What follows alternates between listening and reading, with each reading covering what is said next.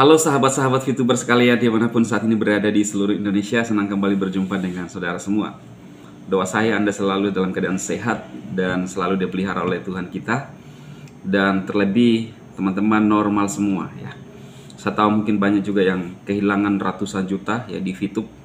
Belum jelas sampai sekarang Tapi kita masih normal ya. Tidak seperti teman-teman yang ada di sana yang menurut saya halu Ini menurut saya, kalau menurut mereka enggak ya. Karena setiap orang berhak punya pandangan dan tanggapan ya teman-temannya. Cuma kan kita lihat kepada hal yang memang terjadi dan hasil dari yang kita memang harapkan ya. Sekarang sampai sekarang ini belum bisa di dikatakan bahwa ada informasi yang jelas teman-teman. Sebelum saya akan membacakan komentar-komentar para VTuber ya di video yang tadi pagi, saya akan memperlihatkan dulu teman-teman orang yang halu juga ya. Yang pernah halu.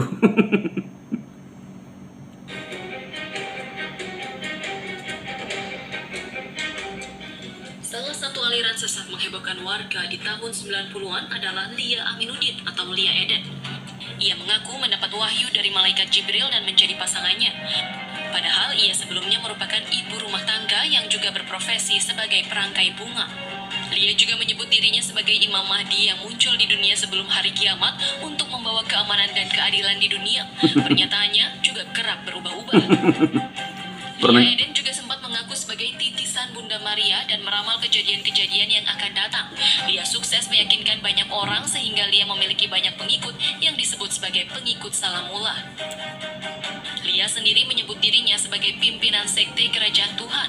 Karena sudah melenceng jauh dari ajaran agama Islam, Majelis Ulama Indonesia MUI menyatakan Lia Eden telah menyebarkan aliran sesat dan melarang perkumpulan Salamullah pada Desember 1997. Tahun 2006, Lia Eden dijebloskan ke penjara selama 2 tahun.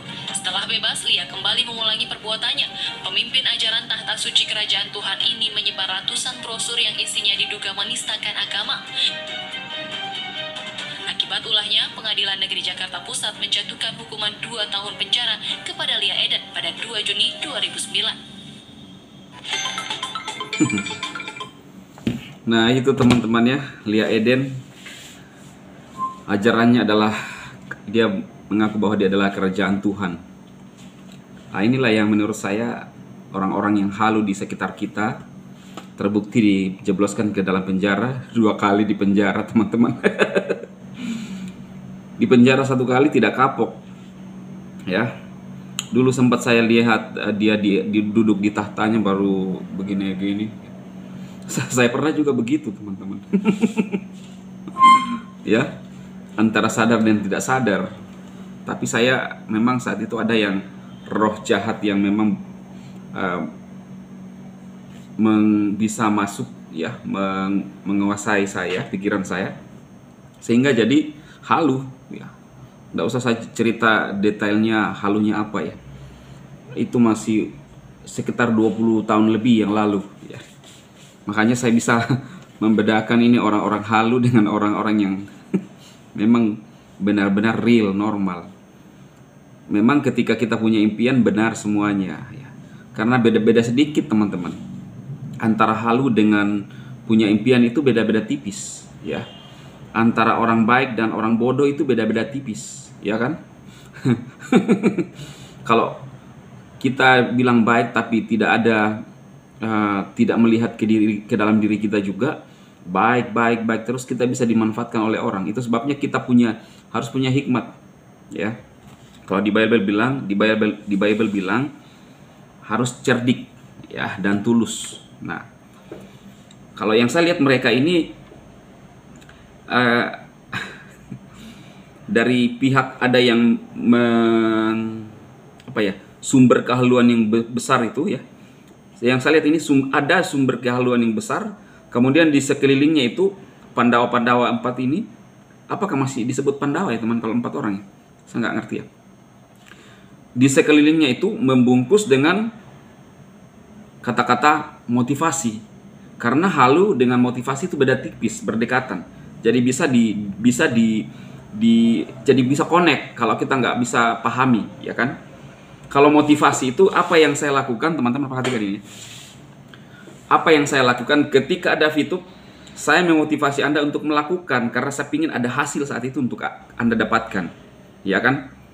Saya melindungi teman-teman dari hajaran haters saat itu kan?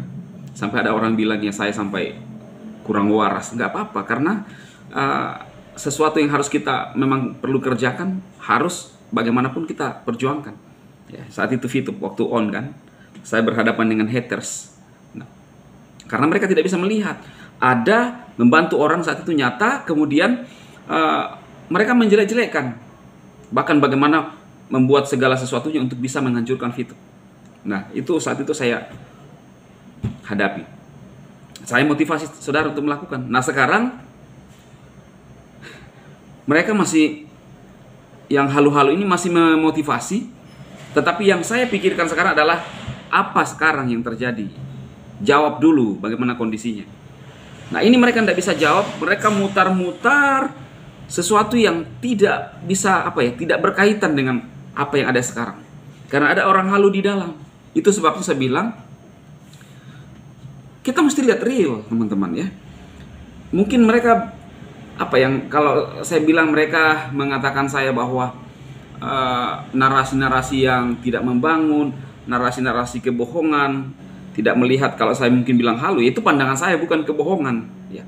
Itu menurut apa yang saya amati selama ini dan saya ketika ada di dalam grup ada pernyataan-pernyataan yang tidak sesuai. Termasuk tadi pagi saya ngomong bahwa kalau kita mengatakan bahwa saya nggak bisa ketemu lagi dengan orang karena uh, begini begini begini ya karena spesial karena ini adalah yang punya duit banyak, saya dipercaya.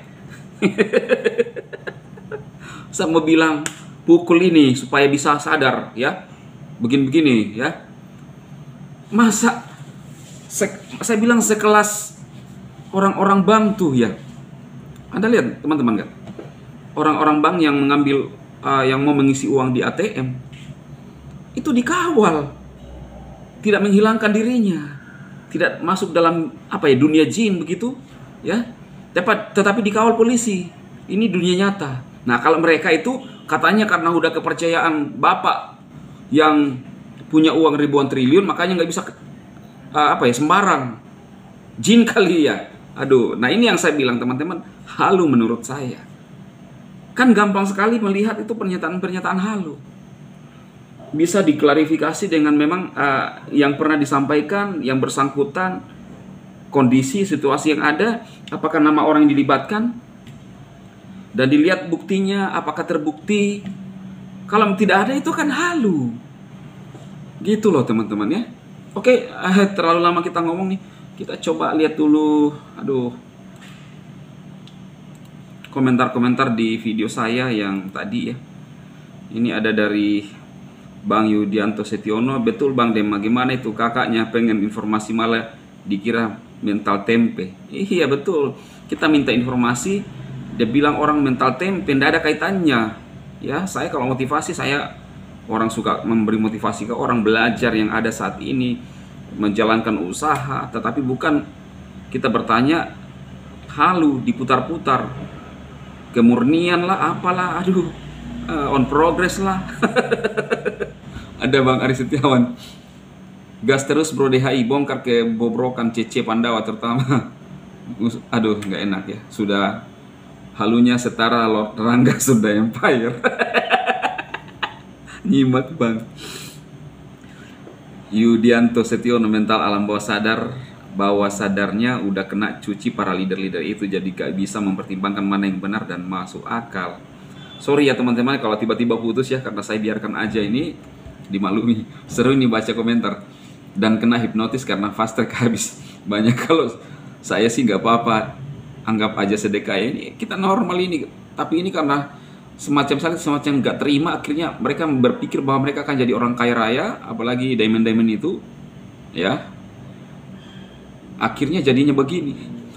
Mereka konten kreator yang rahasiakan info VTube sebenarnya nggak tahu juga bagaimana VTube. Sementara masih kasih motivasi VTube prediksi saya mereka ngotot mungkin selama jadi leader salah salah kasih motivasi. Mungkin menyuruh fast track dengan jual rumah atau gadai rumah atau gadai mobil, jual tanah dan jadi secara psikologis bertanggung jawab pada member yang termakan motivasinya. Mereka menganggap mereka menganggap Bro Dema tidak tahu info dari manajemen. Lah, padahal kan Bro Dema juga CCF itu masuk ke dalam grup yang sama. Apa mereka punya grup sendiri yang Bro Dema gak gabung di grup itu? Ya itu permasalahannya. Tapi kan saya ada di dalam grup ya, lama saya ada di dalam grup diam semua. Mereka memang sering ngajak meeting, tapi meetingnya itu nggak jelas. Ngapain? Ya. Eh, sesuatu yang tidak jelas buat saya, saya nggak mau buang-buang waktu, buang-buang duit, buang-buang tenaga, rugi ya, ninggalin istri, tidak jelas dari mana sumbernya untuk mau meeting dari info manajemen buktinya sekarang beberapa hari yang lalu kan kakak saya ngomong bahwa bukan lagi Pak Wilbert manajemen ya yang kakak saya yang Ferry kan? Nggak tahu apa benar apa tidak. Kalau Ferry kunya walaupun ikut meeting tapi kontennya hanya tentang makan mie atau soto ya. Iya ya meeting tapi soto lagi. Soto.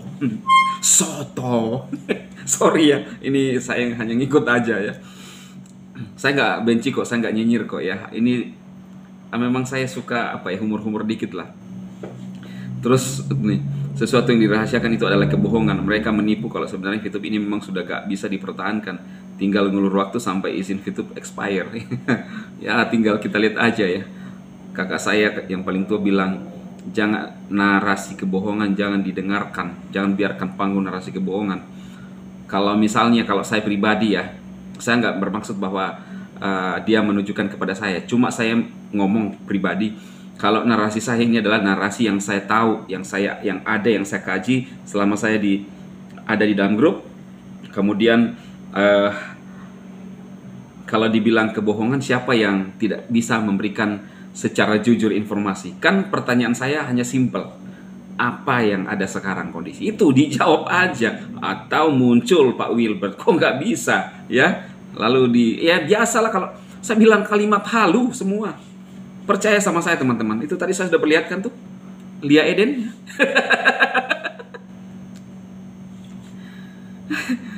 Agus Setiawan, Bang Agus Setiawan saya bingung tuh sama konten si Anis kita sedang bicara bisnis yang harus dijelaskan dengan kenyataan bukan rahasia. Aduh, dab. Bang Demas suara abang itu suara kami VTuber semua. Kami semua ingin kejelasan progres. Jika ada masalah sebaiknya kita solusikan bersama. Jangan terkesan menggantung dan membodohi kami semua. Nah ini kan suara VTuber. Ya kan? Jadi VTuber jangan cengeng. Bang Demas VTuber sejati mengawal arus bawah yang sangat menunggu informasi yang jelas benar. Gak ber Gak bermutu lagi judulnya aja sering nipu maaf batal subscribe atau siapa yang dimaksud nih ya kebanyakan yang nonton Cece Panda 4 itu VTuber yang mengharapkan kepastian bukanlah haters ya bukan rahasia tapi memang kakaknya aja yang nggak tahu Wilbert mau ambil amannya bang bongkar terus kalau mereka masih bungkam Verikunya dan Pandawa berani nggak ya lawan DHI lewat konten Aduh, ya inilah komentar-komentar para VTuber ya. Ya saya ngomong apa adanya. Ya. Karena yang tadi saya bilang tuh, dari dulu saya bilang halu, halu. Mungkin orang nggak percaya terserah, tapi kita akan buktikan. Ya, kita akan buktikan. Soalnya saya pernah ada di dalam situasi itu. Sekarang saya nggak halu sadar. Justru itu pengalaman itu mengajarkan kita jangan seperti yang tadi saya perlihatkan udah di kurung 2 tahun, eh keluar dia bikin lagi. saya sampai tidak dikurung teman-teman ya. Tapi sempat berurusan juga pihak yang berwajib saat itu karena kita ada 13 orang. Nah, ini saya bilang, halu itu bisa banyak faktor masuk di dalam dunia hayalan untuk jadi kaya raya, bisa masuk dalam dunia hayalan menjadi uh, kerajaan kayak gini ya kan, kerajaan-kerajaan itu. Biasanya dilatar belakangi oleh uh, kehidupan masa kecil yang mungkin buruk, haus pujian, akhirnya uh, oh ya, saya pernah ditelepon oleh seorang teman ya di dalam channel yang satu ya, uh, anaknya jadi gila. Kenapa? Karena anak ini memang waktu sejak kecil tidak diperhatikan ya, terkesan ditolak. Akhirnya waktu di umur SMP kalau tidak salah dia pulang sekolah dan ikut uh, semacam perguruan untuk ilmu punya ilmu ya eh, akhirnya jadi OGD, oh OGD, ODGJ, ODG, ODGJ ya. Jadi dia harus menghadapi itu karena sanggup. Nah, inilah yang bisa terjadi juga teman-teman. Saya peringatkan kepada teman-teman saya di sana. Sampai kapan kalian akan begini terus? Sampai kapan akan apa ya melakukan hal seperti ini? Coba pikirkan. Berjuang sesuatu yang belum pasti, rugi tenaga, rugi biaya, ninggalin istri, ninggalin anak, anak terbengkalai. Bukan artinya saya bahwa sempurna semuanya enggak, tapi ini saya berbicara tentang konteks ini. Istri mungkin ngomel-ngomel kok keluar terus sesuatu yang tidak jelas. Berapa ribu triliun mau diperjuangkan? Aduh, coy. Mimpi di mana? Ya kan? Jangan sampai hanya masalah ini rusak hubungan dengan istri, rusak hubungan dengan anak, ekonomi melarat, minta sana sini, kesalahan diri sendiri karena halu. Sadar teman-temanku. Ini ungkapan hati saya untuk kalian semua. Akhiri kehaluan kalian. Kalau saya ada dekat kalian, saya akan tatar baik-baik semua. Saya panggil di depan saya satu-satu. Saya akan amati kalian, saya lihat, saya akan ngomong. Saya pernah bicara sama kakak saya ya yang agak tua sedikit dari saya kan saya paling muda nih di antara Pandawa kan jadi di atas saya jadi teman-teman bisa lihat tahu sendiri kan saya ngomong di atas ke kakak saya yang di atas sedikit saya ajukan beberapa pertanyaan beberapa yang memang ya ya kau teman-teman tahu lah ya kalau DHI jawaban-jawaban itu saya bilang ini sangat tidak masuk akal di situ saya sudah mulai nggak nggak nggak enak saya diam aja.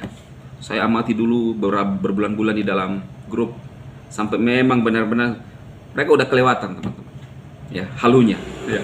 Jadi karena itu saya sebagai paling adik, adik bungsu, ya uh, sadar lah teman-teman. Ya. Pikirkan, pulang ke rumah berdoa, ya minta Tuhan kasih kasih apa ya kasih hikmat, buka pikiran dan apakah ini benar yang kalian lakukan.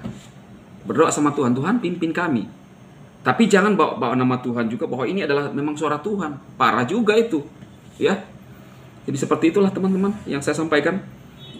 Semoga mereka lekas sadar, cepat sadar dan Pak Wilbert selalu saya minta di video informasi dong, informasi ya, informasi kalau saya terkesan kayak ngamuk-ngamuk dari channel nanti ada orang salah artikan lagi. Tapi tolonglah hargai para VTuber. Informasi doang, bukan mutar-mutar.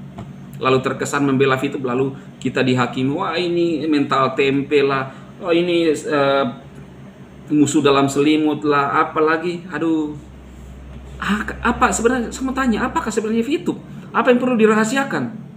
Iya kan? Bukankah teman-teman aja yang seolah-olah membuat sesuatu hal yang besar yang menurut saya tidak perlu dibesar-besarkan, hanya informasi doang aja. Sadarlah. Oke, itu aja.